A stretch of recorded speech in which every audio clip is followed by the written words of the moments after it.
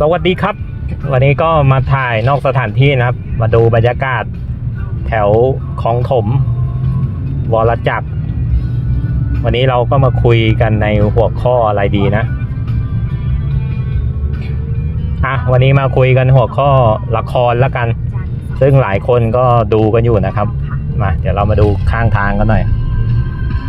ละครเป็นไงบ้างในยุคปัจจุบัน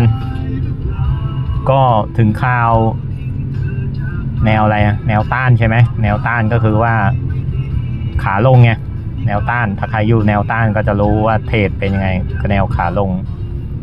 ขาลงก็คือว่า ผู้จัดหลายคนนะครับใครอยู่ในต้านขาลงแต่ก็เคยเมาเหาะหัวลงหัวทิ่มนะเดี๋ยวดูหน้าคนส่งเสียงหน่อยเนี่ยคนนี้ น้องผมเอง แม่งจะปากเสียตลอดนะครับในคลิปอะน้องชาย เออ น้องชาย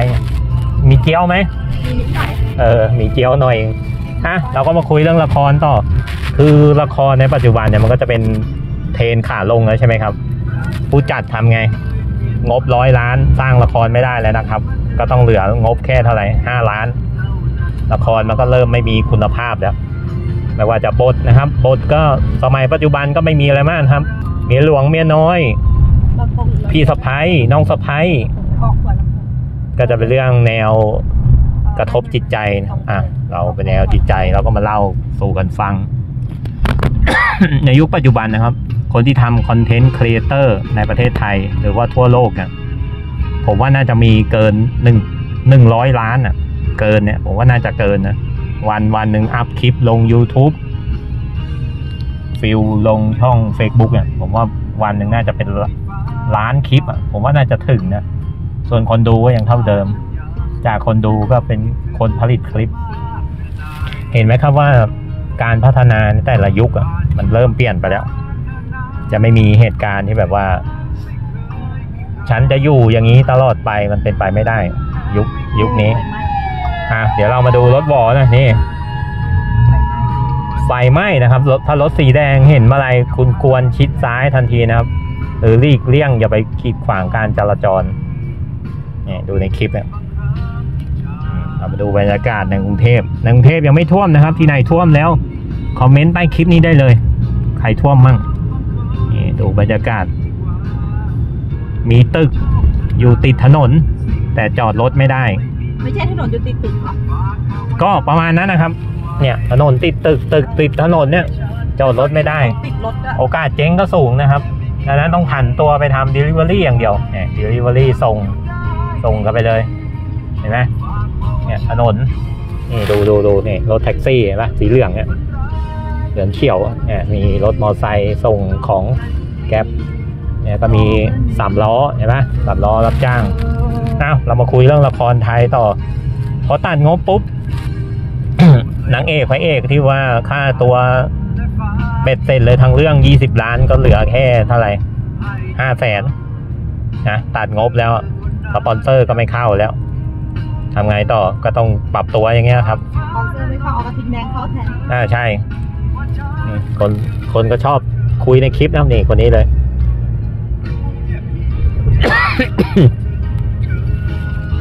ก็อยากจะบอกคนที่ดูคลิปว่าสมมติถ้าใครปลูกอ้อยอยู่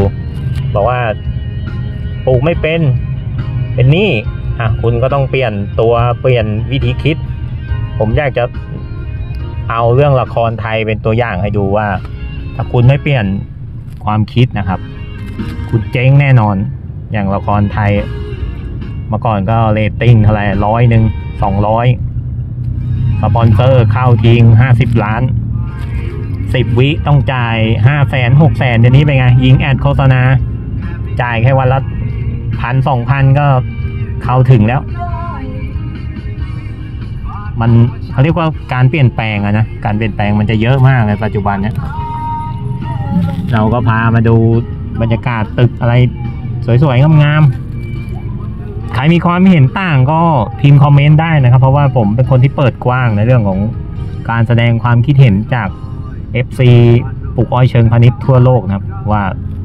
ผมเห็นต่างนะมันไม่จริงนะต้องอย่างนั้นอย่างนี้เอาว่ามาได้เลยนะครับมาได้เลย ละครไทย ตอนนี้ละครหลาย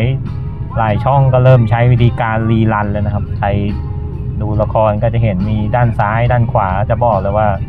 รีรันแล้วนะครับ งบเริ่มไม่มีแล้ว จะไปงบมันก็มาจากขายสปอนเซอร์ครับว่า คุณจะซื้อกี่นาที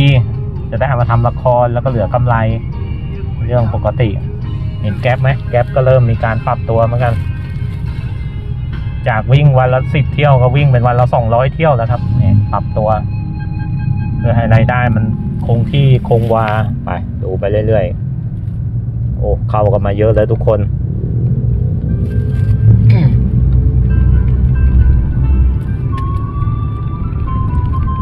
เดี๋ยวผมจะพาทุกคนไป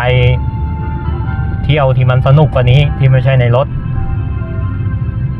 เพื่อไปดูอะไรสวยๆงามๆ อืมแหมก็ตอนนี้ต้องบอกว่าใครไม่เคยมากรุงเทพก็อยากจะแชร์บรรยากาศในกรุงเทพให้ คนทั่วโลกได้ดูกันว่า เออ กรุงเทพมันมันน่ามาหรือไม่น่ามา คุณคุณก็ตัดสินกันเองนะครับ ไปเราไปดูเรื่อยรถตู้ มีทางด่วนเห็นไหมเห็นทางด่วนนะทางด่วน ก็ดูกันไปเรื่อยโยูทูบเบอร์ตอนนี้ก็หลายช่องก็เริ่มเปลี่ยนพฤติกรรมนะครับ เพราะว่าทีมงานเยอะบางคนก็ยี่สิบคนสามสิบคนทำ motion graphic บินโดรน ตัดต่อ creator เดี๋ยวนี้ต้องหาคนเดียวทำได้สิบอาชีพสิบอย่าง ลด cost การผลิตคลิป บางคนก็ทำคลิปห้าแสนสองแสนสปอนเซอร์เข้าคลิปหนึ่งสองตัวสามตัว เรียกไปห้าหมื่นแสนหนึ่งเดี๋ยวนี้ไม่ได้แล้วนะครับสปอนเซอร์เริ่มไม่เข้าแล้ว หลายหลายช่องเลยเริ่มปรับตัวเริ่มปิดตัวก็แล้วบอกเหตุผลง่ายๆ บอกเบื่อ อยากเปลี่ยนไปทำอย่างอื่นจริงๆไม่ใช่นะครับ พูดให้ดูดีแต่จริงไม่ใช่ เอาเหตุผลจริง ๆ เลยดัดจริตประเทศไทยก็คือว่าสปอนเซอร์เริ่มไม่เข้ากันแล้ว ไม่ได้ทำคลิปพอใจรังครับทำเป็นธุรกิจก็เริ่มแย่กันไปตามๆกัน ตอนนี้ใครอยู่วงการสื่อก็ต้องปรับตัวกันเยอะเลยช่วงเนี้ย ปรับตัวกันมากๆ ประเทศไทยมันก็จะเป็นอย่างนี้ยครับ อาชีพปลูกอ้อยก็เหมือนกันนะครับ ต้องปรับตัว ถ้าพี่ขาดทุนปีที่แล้ว ปีนี้พี่ต้องหาเหตุผลแล้วว่าทำไมมันถึงได้ขาดทุนแล้วพี่จะทำไงให้อยู่ฝั่งกำไร เร็วๆนี้เราจะเปิดกลุ่มลับนะครับ เพื่อเป็นมือขวา คนที่ต้องการจะปลูกอ้อย แล้วมีอย่างมีความรู้ความสามารถนะครับ จะเปิด เปิดกลุ่มเป็นกลุ่มปิดสำหรับคนที่สนใจจริง ๆ อยากให้ผมเป็นมือขวา เรื่องปลูกอ้อย เชิงพาณิชย์ก็ เดี๋ยวจะมีกลุ่มลับ ให้ใช้บริการดูไปเรื่อยๆสองสาวนี่เขาก็ขับรถกันเก่งนะครับในกรุงเทพ มก็ดูเขาขับรถ ผมก็ไม่ค่อยเป็นนะในกรุงเทพเพราะว่า ชีวิตผมส่วนใหญ่จะมีแต่คนขับให้ ขับไล่ขับไล่เพราะว่าทุกวันนี้ต้องต้องยอมรับเลยว่า เรื่องขับรถนี่ผมไม่ค่อยคล่องเลยต้องมีคนขับรถให้นะครับ ตลอดเลยอะดูบรรยากาศสองข้างทางไป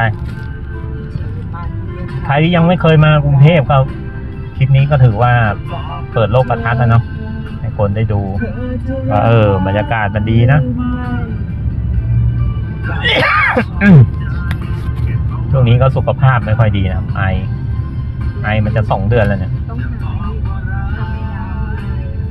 ยังไม่รู้จะทำไงกับชีวิตเนี่ยยามยาก็กินใครมียาอะไรดี ๆ ก็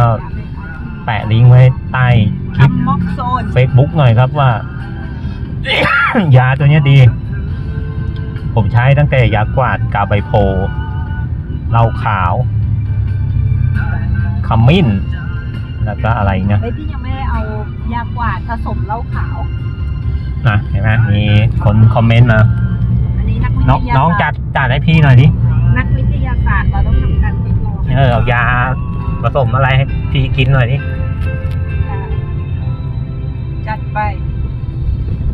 น้องก็เปิดเพลงมันมันมันกว่านี้หน่อยดิท่านผู้ชมพี่บอกว่าเพลงน้องมันยืดจังเลย บางทีคนคอมเมนต์เข้ามา ผมก็ดีใจนะผมชอบอ่าน อ่านทุกคอมเมนต์เลยนะใครคอมเมนต์เข้ามาผมอ่านหมดเลยเอามาดูวัดสวยๆงามๆในกรุงเทพกันหน่อยนี่นี่วัดสวยให้เขาดูลานจอดรถลานจอดรถตรงนี้สีเขียวๆนี่ๆไม่ผมจะไม่ให้ดู นี่นี่ลานจอดรถเป็นลิฟต์ถ้าใครจะดู ผมเก็บตังค์นะครับคนละห้าสิบบาท ไหนไหนไหนนี่เขียวๆนี่เขียวเขียวๆเนี่ยนะอ้าวนี่นี่นี่นี่นี่นี่จอดรถเขียวเขียวๆเนี่ยคือ ลิฟต์ที่จอดรถใช่ไหมใช่ใช่โอ้โหนี่กี่ล้านวะเนี่ย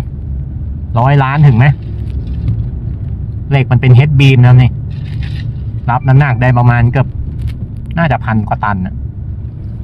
เนี่ยไม่ได้สร้างธรรมดานะ เดี๋ยวนี้เขามีโปรแกรมสร้างแล้ว ไม่ต้องไปคำนวณเหมือนสมัยก่อนAutoCAD ใช่ไหมแล้วก็มีโปรแกรมใหม่ๆเยอะแยะเลยที่ว่า เอาเหล็กใส่ไว้เท่านี้เอาน้ำหนักใส่เท่านี้ ว่าต้องใช้เหล็กหนาเท่าไรเงี้ยมันคำนวณพร้อมเลยแล้วก็ดีนะอะซอฟต์แวร์มันก็ทันสมัยขึ้น รับน้ำหนักกี่ลิตรทำแผ่นดินไหวในประเทศญี่ปุ่นหรือปะประเทศไทยไม่มีก็ยังไม่มีตึกประมาณนั้น เดี๋ยวจะเปิดเพลงมันๆให้ฟังนะ ผมขอเพลงมาแล้ว เออ นี่เพลงใหม่มันล่าสุดเลยเออ มันต้องมันๆอย่างนี้หน่อย ท่านผู้ชมผมดูจากทั่วโลกบอกว่า เพลงยืดเป็นหนังสติ๊กเลย อะ เริ่มมันแล้วครับ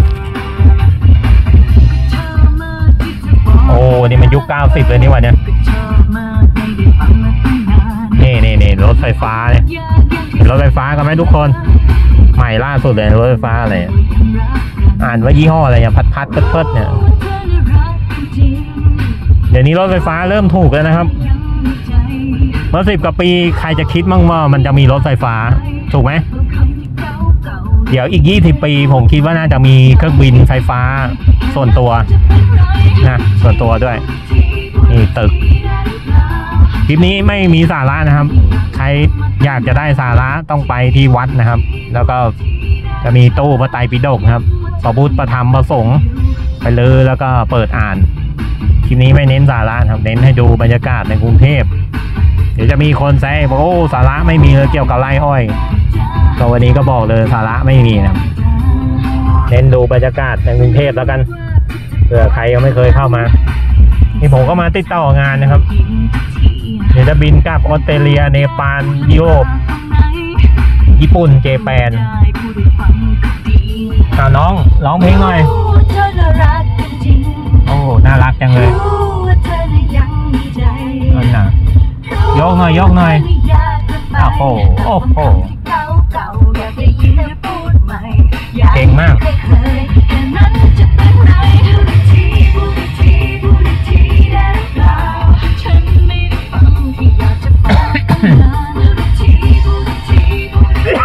อืมโอ้ตึกสีฟ้าๆตึกนี้ครับโครงสร้างดีนะในกรุงเทพเนี่ยผมว่าน่าจะตอกเสาเข็มกันไม่ต่ำกว่าร้อยเมตรถ้ามังดูสภาพแล้วดินมันอ่อนอะตอกกันจะว่าจะไม่เข้าดินไปตรวจความหนาแน่น ก่อนจะหมดหมดค่าโครงสร้างน่าจะหมดไปเยอะกว่าต่างจังหวัดเพราะดินมันอ่อนมันอยู่ ต่ำกว่าระดับน้ำทะเลอะหรือว่าเหนือระดับน้ำทะเลก็ไม่มากเนี่ยเดี๋ยวถ้ามีคลิปหน้าถ้าจะมีอะไรมาอัปเดตก็จะอัปเดตให้ท่านผู้ชมเรื่อยๆ คลิปนี้ก็น่าจะต้องจบเพียงแค่นี้ก่อน